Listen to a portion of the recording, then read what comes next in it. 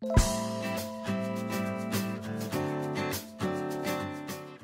ระกาศรับสมัครแฟนพร้อมใช้งาน คุณสมบัติ 3 ข้อที่กะละแมต้องการมาเป็นคู่ครอง ประกาศรับสมัครแฟนพร้อมใช้งาน คุณสมบัติ 3 ข้อที่กะละแมต้องการมาเป็นคู่ครอง นานๆทีจะมีโอกาสได้ออกมาพูดเรื่องความรักบ้างสำหรับอดีตพิธีกรแถวหน้าของวงการ กาละแมพัชรศรีเบญจมาศอีกหนึ่งสาวสุดสตรอง ในวงการบันเทิงที่แฟนๆ ไม่ค่อยได้เห็นข่าวข่าวเรื่องความรักของเจ้าตัวสักเท่าไหร่ ซึ่งล่าสุดกาละแมเปิดใจถึงเรื่องนี้ ยอมรับว่าอยู่เป็นโสดมาจนวัย 45 ปี ก็ยังอยากมีแฟนอยู่ แต่ขอคนที่เป็นผู้ใหญ่พร้อมใช้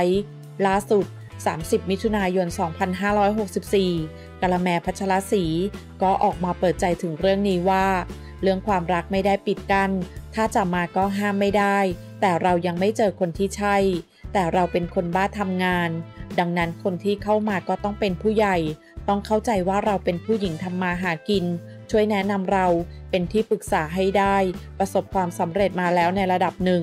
มองเห็นโลกและต้องโสด คือผ่านการแต่งงานมีครอบครัวมาแล้วไม่ได้ว่า แต่ต้องโสด แต่ก็ไม่ได้ปฏิเสธว่าถ้าเด็กกว่าแล้วจะไม่ได้ ขอแค่มีประสบการณ์ ความคิดเป็นผู้ใหญ่ก็ไม่ได้ติด ตอนนี้รับตรงๆก็ยังไม่มีคนพิเศษ อยากมีมากเหมือนกัน เพราะเราก็คิดว่ามันนานไปแล้วหรือเปล่า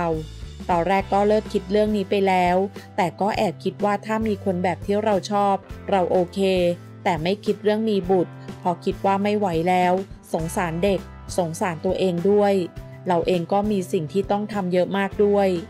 เรามากกว่าเปิดใจแล้ว เปิดทุกอย่าง โมเมนต์กิกกักมันต้องมี แต่เราเองก็เป็นผู้ใหญ่แล้ว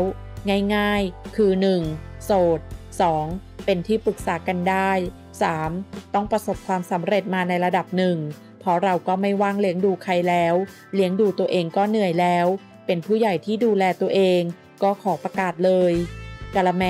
ยังเผยว่าทำงานหนักทุกวันนี้มีตังเยอะ แต่ก็โดนเพื่อนแซวว่าทำเยอะแต่ไม่มีบุตรมีสามีจะเอาไปใช้ตรงไหน ซึ่งส่วนตัวคิดว่าตัวเองคงไม่มีบุตรพออายุ 45 แล้ว พอทำงานเยอะก็ด้วยความที่เราไม่มีบุตรมีสามี ไม่รู้ใครจะมาเลี้ยงเราก็ทำงานต้องเลี้ยงตัวเอง ซึ่งกะละแมพัชรศรีเบญจมาศนั้น ยังเป็นอีกหนึ่งบทพิสูจน์บนเส้นทางการเป็นผู้บริหารหญิงมืออาชีพ ล่าสุด เมื่อวันที่ 30 มิถุนายน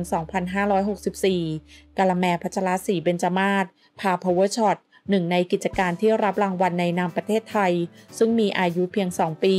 คว้ารางวัลอันทรงเกียรติระดับเอเชียมาได้ถึง 2 รางวัลในเวลาเดียวกัน ซึ่งเป็นรางวัลใหญ่ระดับเอเชียที่มอบโดยองค์กรเอเชีย Enterpriseมอบให้กับองค์กรกิจการชั้นนำที่ประสบความสำเร็จ ยังได้รับรางวัลในครั้งนี้ นับเป็นบทพิสูจน์และปูทางไปในอนาคต ว่าเราอาจจะได้เห็นแบรนด์ไทยอีกหลายแบรนด์ที่สามารถก้าวเข้าสู่เวทีระดับโลกได้เช่นกัน